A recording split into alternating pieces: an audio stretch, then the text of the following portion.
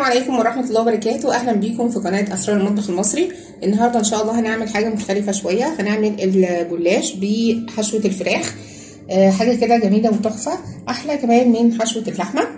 آه خليكم معايا آخر الفيديو عشان تعرفوا اتعملت إزاي الصينية الجامدة جدا دي. يلا بينا على طول نبدأ الفيديو ونسمي بسم الله ونقول اتعملت إزاي الفراخ صينية الجلاش بالفراخ. بس ما تنسوش like و share للفيديو وننزل نفعل الجرس عشان يوصلكم كل جديد من عندي. ويلا بينا نبدأ. بسم الله ونسمي ونبدأ الوصفه هنا بقى عندنا هنبتدي نعمل الحشوة بتاعه الجلاش. حطيت المادة الدهنية بتاعتنا الزبدة وعليها شوية زيت صغيرين عشان الزبدة ما تتحرقش. وهبتدي أنزل بكمية البصل. دول بصلتين كبار.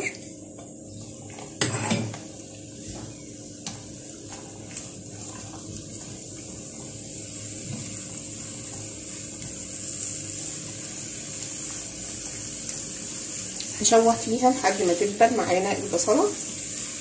طبعا الفراخ إحنا متبلينها مع التتبيلات بتاعت اللي إحنا عملناها للفراخ فجاهزة بالتتبيلة بتاعتها على السوا على طول. هتبقى طعمها مختلف عن الحشوات اللي هي بتاعت اللحمة والجبنة والكلام ده. حلوة جدا بالفراخ.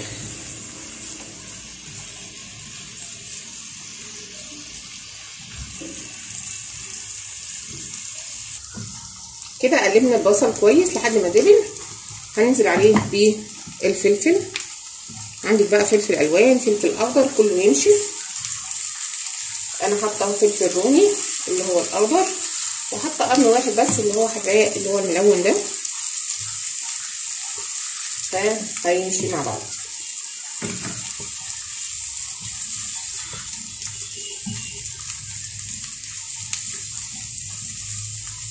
نشوح بقى كويس جدا عشان الفلفل يدبل مع البصل.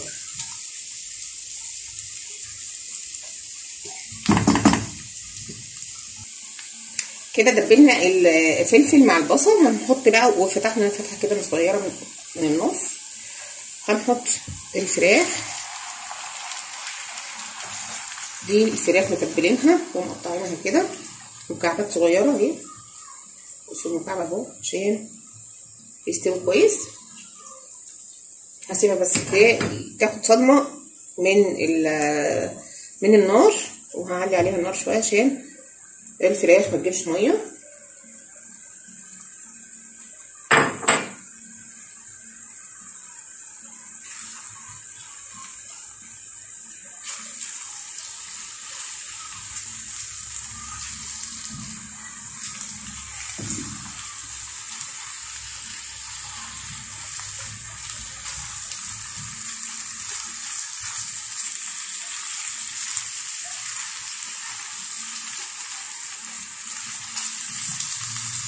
طبعا الطاسه سخنه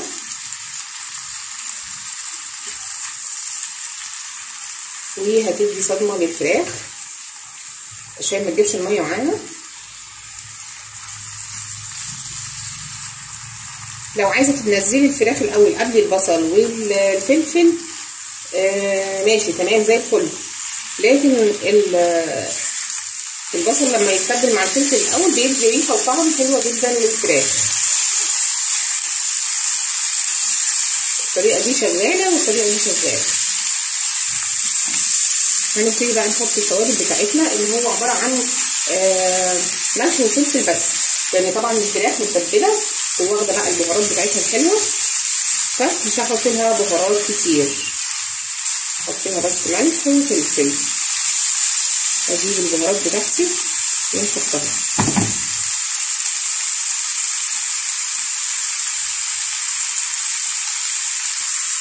عندي هنا هنحط الملح معلقة صغيرة ملح. أحط بس عليها النار. بعد ما خدت صدمه كده هوطي بعد شوية النار عليها وعندنا برضو نص معلقة من الفلفل الأسود. وبس كده. مش هحط تاني توابل لأن هي واخدة التتبيلة بتاعتها. وزي الفل. كده خلاص خلصت الحشوة بتاعتنا بتاعت الجلاش. وهنروح بقى نحضر الصينية ونحضر الحاجة بتاعتنا اللي إحنا هنفرد فيها الجلاش اللي إحنا هنعمل فيها الجلاش بالفراخ. هنا عندنا بقى الجلاش. عندي آه أنا جايبة لفتين جلاش يا جماعة. هعمل بيهم صينية حلوة ومليانة. وعندي كمان الصينية مدهونة مادة دهنية آه زبدة وسمنة بلدي وده اهو الخليط بتاعنا. ده عبارة عن سمنة بلدي وزبدة عشان تدي طعم للجلاش.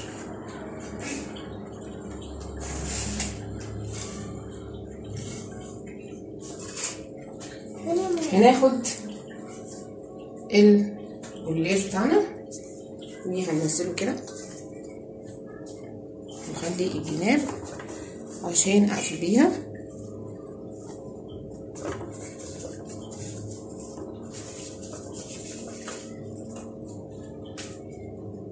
وهديها مسحة من المادة الدهنية بتاعتنا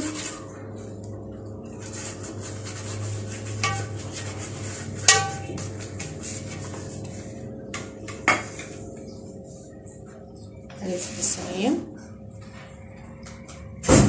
اعملها كده. حوالين بعض بحيث إن هي تغطيلي الصينية كلها. علشان لما أجي أعملها دي عبارة عن فطيرة شبه الفطيرة كده. تبقى كلها عاملة على بعض. مقفولة كلها على بعض.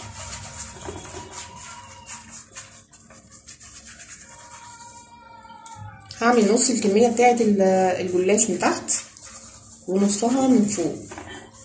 انت عايزاها تبقى خفيفة؟ هاتي لفة واحدة بس بس أنا عندي الصينية ما شاء الله كبيرة فجبت لفتين اللي هما الصغيرين آسفة.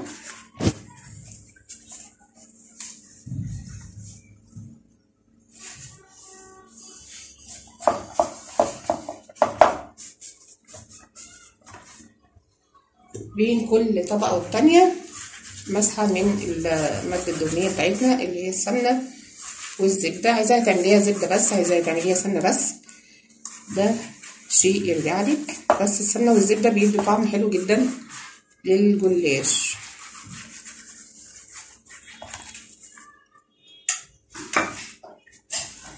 ونلف كده. ناخد الطبقة. اللي هي هتقفل كده الدايرة بتاعتنا. ونفردها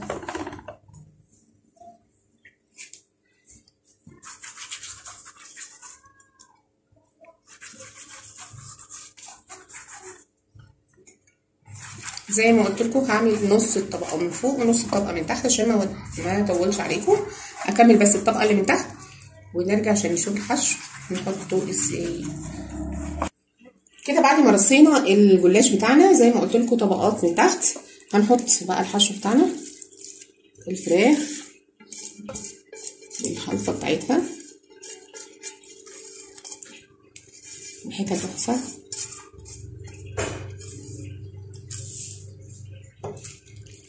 نوزعها على الصينية كلها.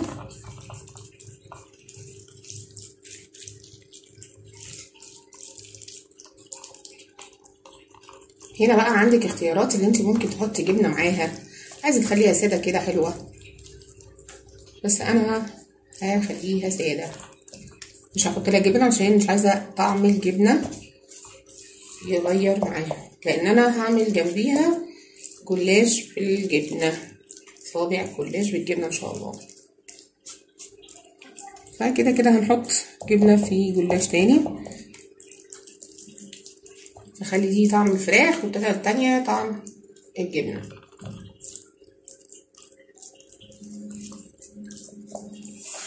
نقسمه بس كويس كده. خلاص. هعمل إيه؟ هجيب الجناب وهبتدي أنزل بيها كلها.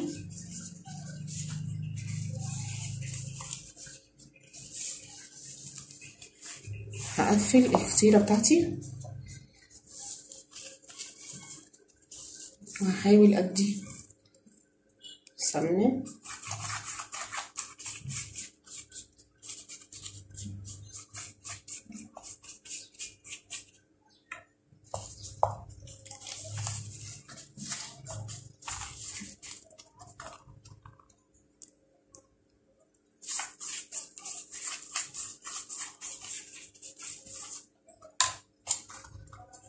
الجلاش ما بيستحملش في الجو. فبينشف بسرعة مش مشكلة إحنا كده كده هندخله من جوه.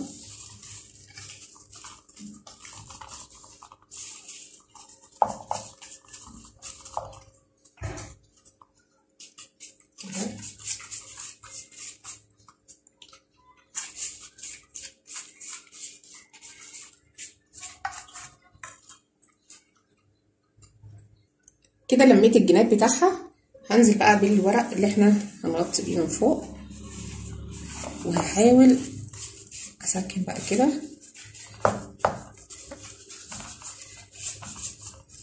يبقى في الجناب عشان الشكل بتاعها.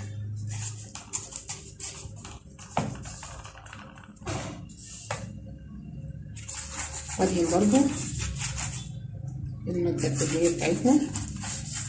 اوعي تنسيها عشان دي اللي هتورق معاكي الفطيرة وهتبقى طعمها حلوة وما تكونش معجنة معاكي عشان إحنا طبعا لسه هنحط لها آه السائل بتاعها من فوق. فلازم تدهن كويس.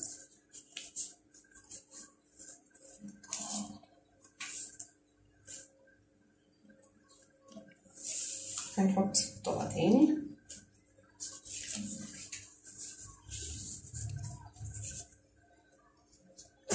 كده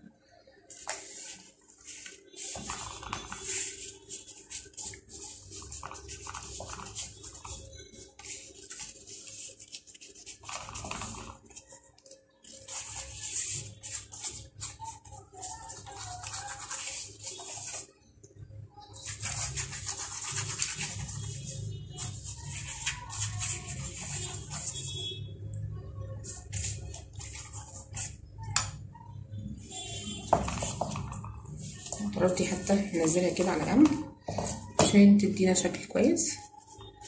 أهو.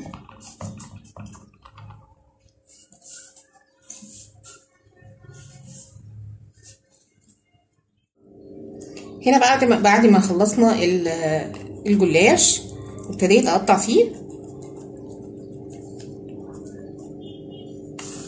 التقطيعات بقى اللي انت عايزاها عايزاها مربعات عايزاها اللي هي المثلثات دي. بالشكل ده يرجع لك انتي. بس إحنا هنعملها مربعات عشان تبقى شكلها حلو.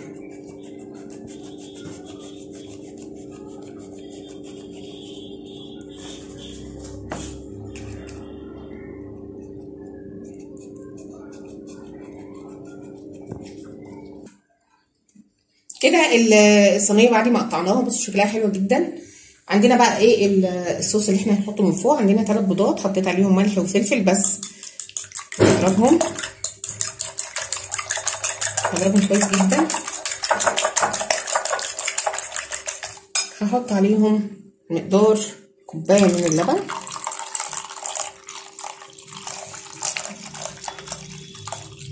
طبعا عشان الكمية بتاعت الجلاش كبيرة في الصينية فهزود بس اللبن شوية. هحط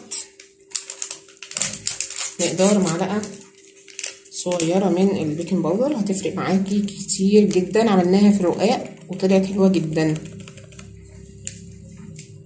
معلقة صغيرة. ادوب بقى كله.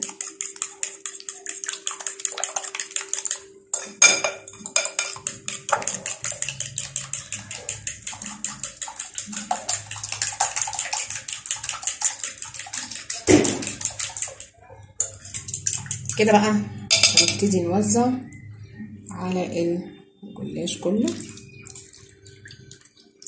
حاطين خفيش كله هيشرب.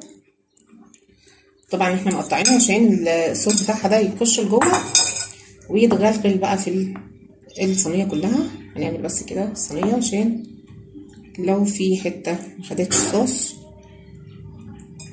تاخد من الصوص. مش هدخلها الفرن على طول هستنى بس لمدة عشر دقايق تشرب بس الصوص بتاعها ده وبعد كده هدخلها زيها زي الرقاق بالظبط. هدخلها على فرن 180 لحد ما تحمر طبعا من فوق من تحت وتستوي. وأتأكد إن هي استوت طبعا عشان دي طبقات جامدة على بعض.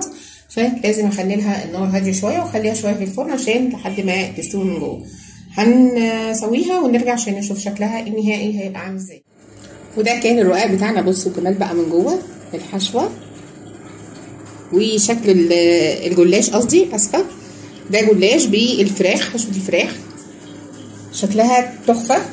يا رب يكون إعجابكم النهارده واستنوا فيديوهات أحلى وأحلى إن شاء الله. واترككم في رعاية الله. بس ما تنسوش like و share للفيديو وننزل نفعل الجرس عشان يوصلكم كل جديد من عندي. والسلام عليكم ورحمة الله وبركاته.